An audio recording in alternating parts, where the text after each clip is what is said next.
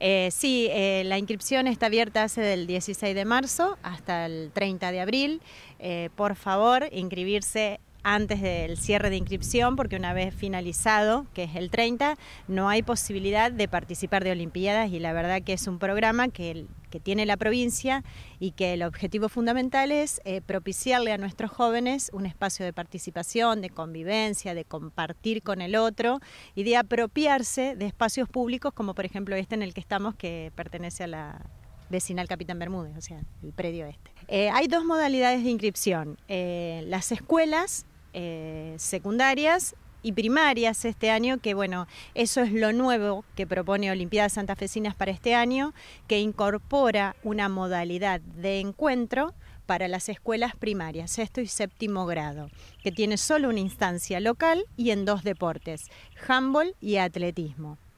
Eh, la modalidad de inscripción es, las escuelas se inscriben por el SIGAE, que es un sistema que tienen las escuelas que es muy práctico para realizar la inscripción.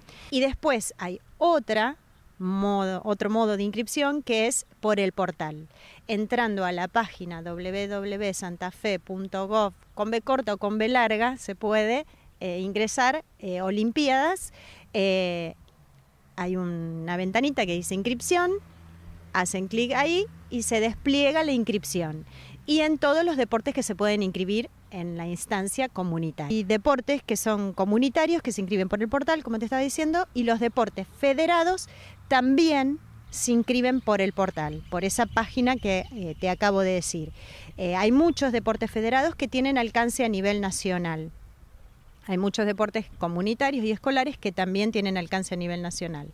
Los que no tienen alcance a nivel nacional, ¿qué hace? Provincia los toma, como por ejemplo este año básquet, le da la posibilidad a los chicos que juegan básquet de que participen de estas Olimpiadas pero solamente con tres instancias, que es local, departamental y una etapa final de eh, convivencia y participación que generalmente se hace en Santa Fe o en Rosario. Este año se han incorporado, o sea, eh, se mantienen las de siempre, atletismo, básquet, handball, eh, volei, natación, y se han incorporado las muchas federadas que pertenecen a federaciones, por ejemplo, acuatlón, tenis sobre mesa, beach volley, em, judo, lucha.